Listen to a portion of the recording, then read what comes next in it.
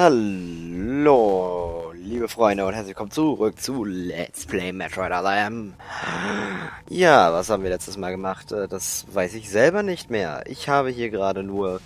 Also als ich diese Aufnahme angefangen habe, ich bin übrigens im Nachkommentieren. Hallo, mein Name ist Dossi534. Ich kommentiere nach, weil ich dumm bin. Ähm, als ich mit dieser Aufnahme angefangen habe damals, also das ist jetzt schon ein paar Wochen... Oh fuck, ich muss das lautlos stellen. Ist jetzt schon ein paar Wochen her da... Ähm... Äh, genau, da wollte ich... Ja, das habt ihr jetzt zum Glück nicht gehört, mein E-Mail-Geräusch. Ähm, da habe ich äh, etwas ausprobiert. Und zwar etwas mit Sound-Lag-Einstellungen beim Dolphin-Emulator. Die ich mal ausprobieren wollte, ob es dann immer noch so, naja, ihr wisst schon, solche diese Sound-Cracklings gibt. Und es ging eigentlich ganz gut eine Zeit lang und ich könnte mal auf den Vollbildmodus wechseln. Ich hoffe, es gibt kein Delay.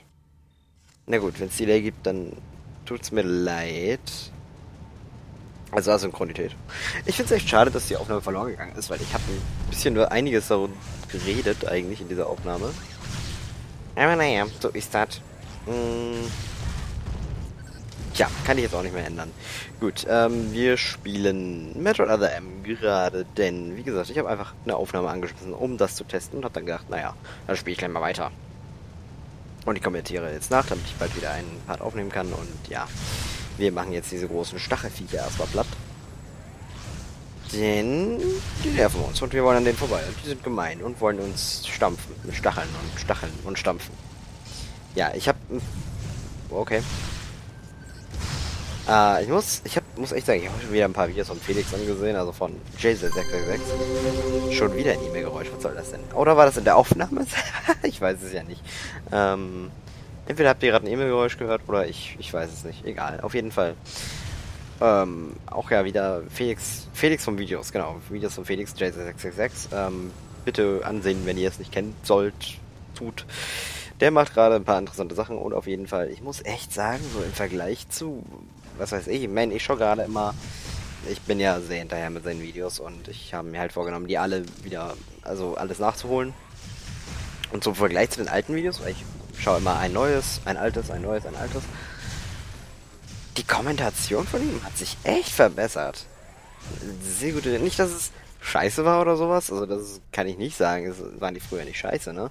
Es ist nur einfach irgendwie lebhafter. Weiß nicht, ob das nur mir so vorkommt, ob das, ob mich das täuscht. Ist das irgendwie wegen dem Mikrofon? Da war ein Grafikbug. Also wir sind jetzt hier am Anfang von Sektor 3. Wir sind hier nach Sektor 3 gegangen, um... Okay. Ja, ja, ist, ist okay, Adam, machen wir. Ja, okay, Sadam, ich glaube, wir haben das verstanden. Ich glaube, da wollte ich das äh, versuchen zu triggern, ob man das mehrere Mal hintereinander triggern kann oder sowas und der dann Samus, Samus, Samus immer wieder anfängt zu sagen. Ja, wir sind in Sektor 3, weil wir ein Viech verfolgen, das Lai gekillt hat. Also wahrscheinlich hat das Lai gekillt. COD Kitty. Und äh, ja, dieses Viech verfolgen wir gerade in Sektor 3. Und gerade sind wir an dem Aufzug. Wir sind nicht normal über den Aufzug in Sektor 3 gelangt, sondern wir sind einen langen Abstieg hinunter. Und hier sind Cebesianer, die uns abschießen. Uh, und es gibt Soundbugs wieder. Ja, genau. Das ähm, habe ich vergessen dann jetzt vorhin zu erwähnen. Die Soundbugs wurden nicht wirklich gefixt. Vielleicht verbessert. Also vielleicht passieren sie nicht mehr so häufig. Aber sie wurden nicht gefixt. Und das Problem ist halt, neue Areale werden einfach diese Soundbugs haben. Damit werden wir uns abwenden müssen. Und die Musik hier ist übrigens ziemlich cool. Also sehr seltsam, dieses Wow im Hintergrund. Ich werde dann nochmal, glaube ich, pausieren und euch das ähm, etwas näher bringen. Da werde ich auch Markus die Klappe halten, sobald ich das mache. Grappling Beam. Jawohl, den haben wir noch nicht. Aber wir können ja hier äh, Walljumpen.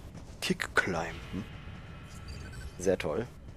Stimmt, da hinten ist ein Item. Äh, hinter dieser Absperrung da anscheinend. Ich habe keine Ahnung, wie die aufgeht.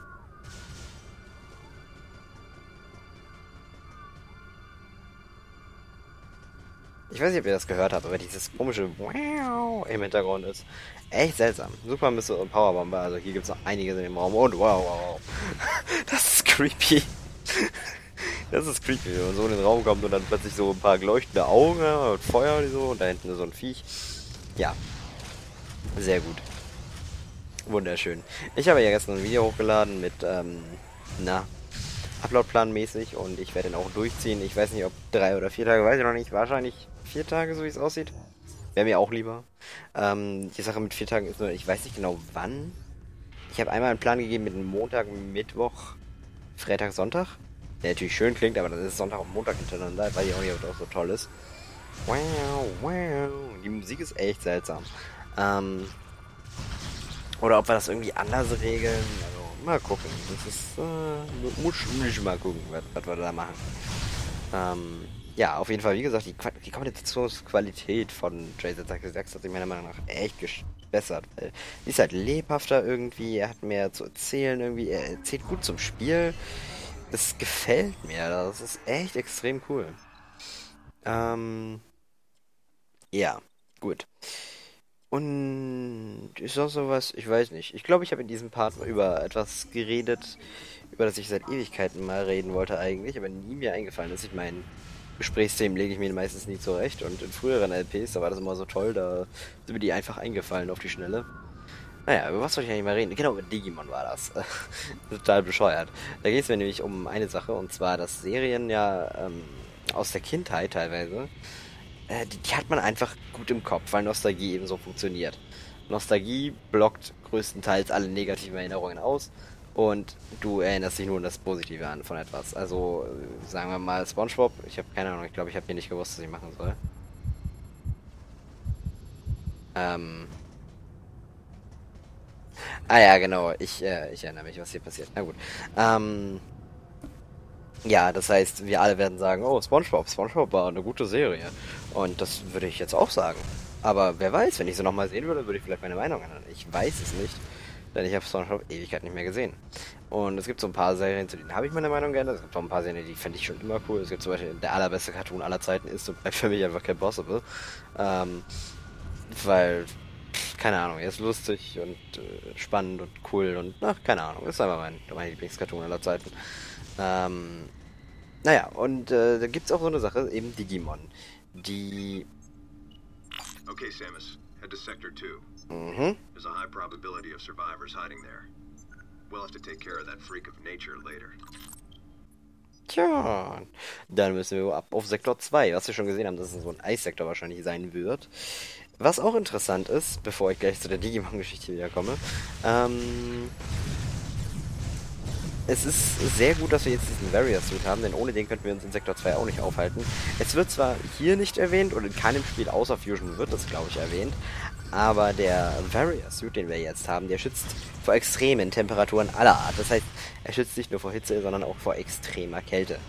Und das wird nur in Fusion erwähnt, weil, ähm, na, da ist das halt wichtig. Da hinten ist so ein Viech, das soll uns jetzt angreifen, ja. Ähm, und ja, es ist sehr gut, dass wir diesen Warrior Suit haben, denn ohne den könnten wir Sektor 2 wahrscheinlich nicht wirklich betreten. Ähm, mit Sektor 3 hatten wir auch unsere Probleme, ne? Weil Adam gesagt hat, hey, ähm, masochisiere dich mal, das ist kein Wort.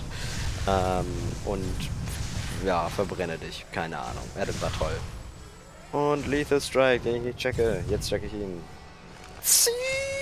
Ums. Das Ding ist ekelhaft. Gut. Kein Blink, Blink, Blink, Blink, Blink. Also zurückgehen und ich schaue nochmal nach oben, weil ich denke, das ist cool. Ähm, ja. So, Digimon wollte ich erzählen, genau. Ich habe damals, als ich im Kindergarten war, habe ich Digimon gesehen. Ähm, Digimon Adventure. Und äh, hier kommt, glaube ich, eine Stimme, auf die ich kurz ruhig sein muss, damit man die hört. Interessant. Also, mehr sagt sie nicht, genau. Digimon im Kindergarten gesehen, die erste Staffel Adventure, damals. Ähm, beziehungsweise es war eigentlich noch davor. Also ich war schon im Kindergarten, aber an das, was ich mich mehr erinnere, so quasi die Vorschulzeit vom Kindergarten dann, ähm, da kam Digimon Adventure 02. Und das habe ich so richtig gut in Erinnerung. Also ich habe mir vor über einem Jahr, fast schon zwei Jahre her, mal vorgenommen, okay, weißt du, Digimon, die ersten vier Staffeln, das, die waren richtig cool. Also die dritte mochte ich nie so, aber naja, und die erste habe ich auch nicht mehr so gut in Erinnerung. Und pst, Level 4 warning is now in effect in Sector 2. An irregularity in the climate control systems of Sector 2 has been confirmed. Please be sure to Von wear protective equipment and use extreme care when moving around this floor. Es wurde confirmed, wahrscheinlich von dem Computer irgendwie, keine Ahnung. Und Digimon Adventure hatte ich nicht so gut in Erinnerung. Also auch, ich habe mir gedacht, naja, Digimon Adventure fand ich damals, glaube ich, nicht so gut. Und, ähm, ja, ich dachte mir, ja, aber es wird toll, dann wieder Digimon 02 zu sehen und Digimon Frontier, das ist die vierte Staffel, denn die fand ich extrem cool. An Digimon Frontier kann ich mich am besten erinnern, an Digimon 02 eben nicht mehr ganz so sehr. Ich wusste nur, dass ich sie sehr gut in Erinnerung habe. Weitaus besser als Digimon Adventure 1, also die erste Staffel. Ähm, und das Interessante ist halt, ich habe dann mir eben Digimon Adventure angesehen und wow, war ich dann geflasht am Ende von der Serie. Also Digimon Adventure ist jetzt mittlerweile wirklich äh, meine Lieblingsstaffel von den originalen vier Digimon-Staffeln. Und hier leckt ein bisschen. Ähm, während Frontier, ich würde sagen Frontier auch so auf Platz 2. Weil es ist konstant gut und hat eine coole Story so mittendrin, einen coolen Plot. Gut, Plot Twist haben auch ein bisschen die zweite Staffel, aber naja. Ähm, Digimon Adventure hat mich dann echt geflasht teilweise. Es war richtig gut. Das Problem an Digimon Adventure ist der Anfang. Denn ich, es war so schwer durch diesen Anfang zu setzen. Wirklich, die ersten zehn Folgen sind meiner Meinung nach echt nicht gut. Und hier leckt es ja richtig hart. Ähm, ich glaube, hier wird mal gleich die Aufnahme von mir neu restartet oder so. Da ist sie restartet, schätze ich schon. Vielleicht hier? Ich weiß es nicht. Ich habe keine Ahnung, ne? Ähm, ich, ich rede einfach weiter. Gut, äh, und Digimon Adventure 02 habe ich danach gesehen und dann war ich irgendwie enttäuscht ein bisschen von. Äh, ja, alles klar, ich stehe anders da und das Bild hat sich irgendwie verändert, sehr gut. Und dann, ähm, Digimon Adventure 02 hatte ich dann irgendwie eine schlechtere Meinung von plötzlich. Also es war irgendwie enttäuschend am Anfang. Aber mit der Zeit hat sich echt gebessert und war dann am Ende auch konstant gut. Ähm, äh, es ist nur irgendwie, naja, äh, es war etwas seltsam. Das Lustige ist, ich habe mir dann gedacht, okay, Digimon Tamers fand ich damals scheiße. Und ich freue mich echt auf was Gutes jetzt. Also ich schaue mir vor Tamers, der dritten Staffel, jetzt Digimon Frontier an. Digimon Frontier ist die vierte Staffel von Digimon. Ähm, die ich auch weiterhin gut fand. Also da gibt es nichts dann aus. Also ich finde die gut, ist die zweitbeste meiner Meinung nach. Nach Digimon Adventure, also der ersten Staffel. Und ähm, ja, es ist definitiv gut. Naja, und dann also das, das war auch was Interessantes, so diese Erfahrung nochmal neu zu machen, Digimon Frontier nochmal neu zu sehen. Das war auch extrem cool. Ähm, es hat so coole Charaktere und ein paar richtig coole Plotpoints. Ähm, definitiv besser als nur zwei. Aber dann habe ich mir Tamers angesehen. Und Tamers, die dritte Staffel, die mochte ich damals als Kind schon nicht. Und ich habe sie mir angesehen und ich habe wirklich das letzte, die letzte Folge, die ich gesehen habe, war Folge 13 oder so. Es ist so schwer. Damas ist irgendwie so langweilig. Es sind, Hauptchar es sind nur drei Charaktere. Ähm, mögen vielleicht ein bisschen wenig sein. Gut, Adventure ist meine Lieblingsstaffel davon und da sind sieben Charaktere. Mögen vielleicht ein bisschen viel sein, ne?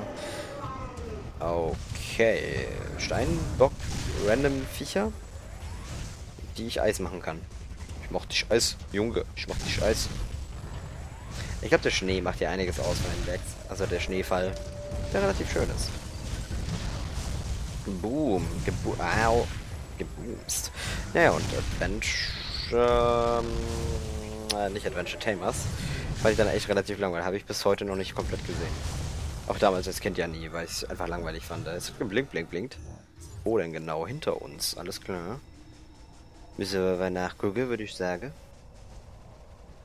Wo haben wir denn da was? Ja, einmal ähm, haben wir ja vorhin gesehen, diese Eiswände, vor denen wir vorhin standen, die kann man mit Speedbooster zerstören. Äh, ja, den Speedbooster werden wir auch noch irgendwann, hoffe ich mal, erhalten. Und hier, ja, da kommen wir nur hinter mit dem Speedbooster. Und da vorne ist ja auch noch was, was wir übersehen haben tatsächlich. Nämlich unter dieser Erhöhung, äh, nicht Erhöhung, unter diesem Teil Messercontainer. Die Messerkapazität wird erhöht. Blums. Ähm, ich werde dann wahrscheinlich auch abrupt weg sein, weil ich schaue hier gerade im Fullscreen, damit ich ein bisschen was erkenne und ähm, ja, das heißt, ich werde dann wahrscheinlich abrupt weg sein, weil ich mich nicht richtig verabschieden werden kann, weil ich keine Zeitachse sehe, deswegen weiß ich auch nicht, wann es zu Ende ist. Wobei, ich meine, wenn ich in den Speicherraum komme, dann kann ich mehr denken, aber ich weiß nicht, wie lang der Part ist. 20 oder 25 Minuten? Hm. Ja, gut, äh, hier... Ui, große Sektion mit Wasser. Wunderschön, Wasser ist toll und Elektrokugel und what the fuck. Das Ding sieht auch interessant aus. Kann man nicht angreifen. Sehr seltsam. Erinnert mich an etwas. Hm. Deshalb ich tatsächlich, entweder erinnert mich deswegen, weil ich es eben vor drei Wochen gespielt habe, oder es erinnert mich deswegen, ich weiß es nicht. Es erinnert mich an irgendeinen Gegner aus der Metroid 3. Ich weiß es gerade nicht, ehrlich gesagt, aber es erinnert mich an irgendwas. Gut, das können wir anschießen, vielleicht sinkt dann Wasserstand oder sowas. Blups, Plattformen steigen auf, das ist ja auch interessant. Ähm, eine kleine Frage zwischendurch, weil ich bin noch an dem Park, wo ich sagen würde, wenn ihr es unbedingt wollt, dann würde ich das tun. Und zwar nerven euch diese kleinen Lags, die jetzt nicht häufig vorkommen. Äh, denn grafisch sieht das schön aus und ich muss ehrlich sagen, wenn ihr wieder HDPVR aufnehmen würde, würde es wahrscheinlich schlecht aussehen, weil ich da nicht, glaube ich, Full HD aufnehmen kann. Äh, nicht Full HD, also hat 720 kann ich damit, glaube ich, nicht aufnehmen bei der Wii. Ähm, aber das ist eure Entscheidung. Wenn es euch wirklich sehr stört, dann sagt mir Bescheid in den Kommentaren. Dann äh, würde ich das Ganze halt nochmal spielen dann würde ich es am Ende mit der HDPVR aufnehmen. Und die Dinger scheinen Energie einzusaugen, nur mit dem Charge zerstört werden zu können, alles klar. Au. Super. Und hier spawnen die Fische wieder, was total doof ist, weil ich möchte ja das Blink-Blink bekommen, um zu wissen, ob hier was im Raum ist. Ähm, aber es wäre auch positiv, wenn man sich einfach mal so umsehen würde, denn dann würde man wissen, dass äh, auf der rechten Seite des Raumes ein Misser-Container ist, wie mir gerade eingefallen ist. Im Wasser natürlich. Naja, oder sagt ihr, es ist in Ordnung, man kommt damit klar, weil es dauert ja nicht allzu lange und dann hat das geladen und dann ist das Ganze wieder gut und ja, müsst ihr wissen. Ähm, ich, für mich persönlich, ich finde es okay. Mich stört es auch nicht sonderlich, weil ich ja drüber laber. Ähm, mich stört beim Spielen, das war es auch schon und deswegen sage ich es wahrscheinlich auch die ganze Zeit, weil es mir eben besonders auffällt. Ähm, und ich glaube, was euch dann vielleicht noch eher stört, ist, dass ich es einfach die ganze Zeit erwähne. Ähm, aber wer weiß, vielleicht stört es euch auch so. Ich bin gerade ans Mikrofon gekommen, das tut mir schrecklich leid. Ähm, sagt mir einfach Bescheid. Findet ihr es okay so? Soll ich es irgendwie neu machen mit der HDPVR dann spielen, damit halt die Lags nicht da sind? Wobei ich mir da auch nicht sicher bin, weil ich habe keine Ahnung mit der HDPVR. Problem ist auch HDPVM, mein Fernseher ist ziemlich beschissen, also naja. Was habe ich da getan? Naja, es ist, es ist, wie gesagt, es ist eure Entscheidung, müsst ihr wissen. Ich, äh, ja, hoffe, ich sag nein. Keine Ahnung. Ich möchte, dass ihr das, ne? Ich möchte auch irgendwie, dass das meinen Zuschauern gefällt. Denn, ähm, wie ich auch schon in dem Nicht-Let's Info gesagt habe, ja, ich mache das für mich, aber auf der anderen Seite, ohne Viewer bringt es auch nichts, mache ich mir auch nicht die Arbeit. Ne? Deswegen bin ich ja froh, wenn ich Leute habe, die mir Feedback geben oder mir sagen, sie wollen so und so. Mm, in erster Linie mache ich trotzdem das, was ich will, aber naja, was das angeht, fände ich es jetzt nicht so schlimm. Wie gesagt, müsst ihr wissen. Die Dinger absorbieren Energie, das habe ich anscheinend immer noch nicht kapiert. Und ich muss kurz husten. So. Es tut mir sehr leid. Ich habe mich gemutet, aber es tut mir sehr leid. Naja. Googeln wir mal. Äh, interessante Viecher. Ich kann mich an die Stelle gerade gar nicht erinnern, wie ich das gespielt habe. Und die blocken auch Raketen ab. Die Viecher gehen echt auf die Nerven. Sind kaputt. Wo laufe ich hin? Ah ja, okay. Der riesige Eisblock, der wird wahrscheinlich mit Raketen zerstörbar sein. Schätze ich. Oder kann man dran vorbeilaufen? Wow, wow, wow. Habt ihr das Ninja-Stachel-Eisviech gesehen? Okay. Und noch eine Kaboom, mit Hammer Time. Warum auch immer Hammer Time? Ah ja, ich, erinnere mich gerade, dass der Part relativ, lang war. Aber in diesem Raum werden wir dann, glaube ich, aufhören. Rumble, Rumble, Crumble. Kaboom. Oh. Interessantes, ich hatte einen Helm vorne dran. Er erinnert mich auch an Viecher aus Fusion, fällt mir gerade so auf. Das habe ich in dem originalen Fall, in der originalen Aufnahme gar nicht gesagt. Aber das hier erinnert mich auch an etwas aus Fusion. Allgemein auch aus ähm, Metroid 2, da gibt es auch diese Dinger.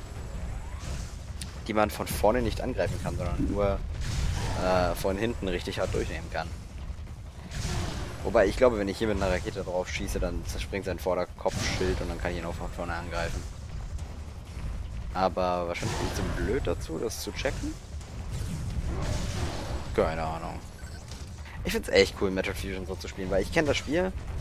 Ähm, hab's aber lange nicht gespielt und somit erinnere ich mich an ein paar Sachen nicht mehr. Und das ist ziemlich cool irgendwie. Ähnlich wie mit Tales of Fantasia. Ich kenne das Spiel eigentlich komplett, beziehungsweise ich hab's komplett gesehen, aber ich erinnere mich halt an gar nichts mehr im Prinzip. Lethal Strike. Bam. Genau, der Lethal Strike funktioniert so nicht. Denn, äh, genau, das wieder die Maske auf. Und jetzt ist die Maske etwas kaputt und jetzt kann ich auf den Kopf springen und dann... Bumm. Blink, blink, blink hat's gemacht. Hier gibt's ein Terminal, äh, da wollen wir noch nicht hin. Und das da unten sieht cool... Okay, da war ein Grafikbug, da hat man Fische vorbeischwimmen sehen, unten rechts am Bildschirmrand. Hm, naja.